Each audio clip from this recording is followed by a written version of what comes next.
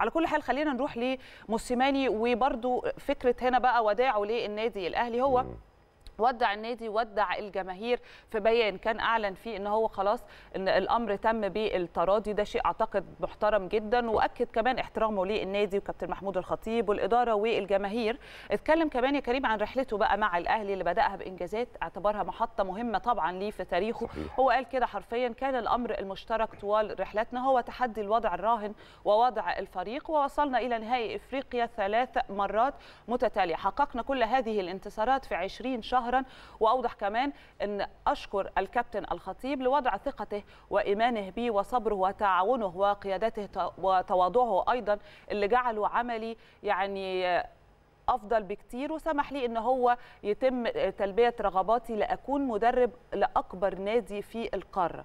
سأكون ممتنا بذلك إلى الأبد. وهو أضاف شكرا لمجلس الإدارة واللاعبين على ثقتكم في قدراتي وتحقيق قدراتي في الحياة وبدونكم لم يكن أي من هذه الإنجازات ممكنا نوجه الشكر أيضا طبعا ما انساش الجماهير للنادي الأهلي جماهير النادي الأهلي قال 70 مليون من مشجعي الأهلي اللي يعني وقفوا بجانبي طول هذه الرحلة وكانوا مصدر للإلهام ليا بالنسبة يعني كبيرة ولم يسبق إن هو شعر بهذا الحب والتقدير من أي مكان تاني يعني اشتغل فيه أو عمل فيه فكلام محترم جدا صحيح. وكنا. منتظرين أكيد كلام زي ده لأن بتهيألي موسيماني يا كريم ما شافش حاجة وحشة من النادي الأهلي صحيح يعني صحيح. بالعكس طبعا. لا من الإدارة طبعا. ولا من اللعيبة ولا من الجماهير الجماهير كانت لآخر لحظة آه، حتى لما كان وقت مستوى الفريق مش ال...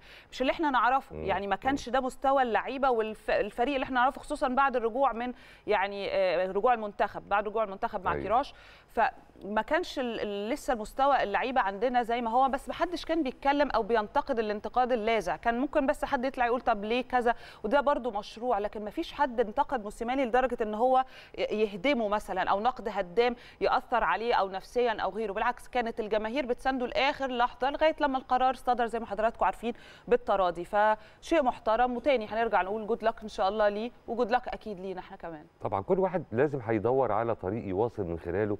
النجاح الشخصي وبناء المجد زي ما هو يعني أكيد متوقع من أي مدير فني زي بيتسو موسيماني قاعد اشتغل لفترة من الفترات مع نادي هو الأهم على الإطلاق في القارة حسب تصريحه هو شخصيا. الحقيقة بيتسو موسيماني من الشخصيات حتى بعيدا بقى عن كونه مدير فني هو عنده كاريزما شديدة الخصوصية من أول ما جه النادي الأهلي وتحسه كده إن في محبة متبادلة وكأنه موجود من زمان مع النادي الأهلي. بيتسو موسيماني حقق في زمن قياسي كم من البطولات اللي تحقيقها ما كانش بالساهل بطبيعة الحال واللي لو قارناه بأي نادي تاني ممكن يبقى على مستوى القارة كلها مش بس بتكلم على مستوى مصر هتلاقي إن صعب جدا إن النادي يحقق هذا الكم من ال- البطولات والنجاحات في زمن يكاد يكون قياسي.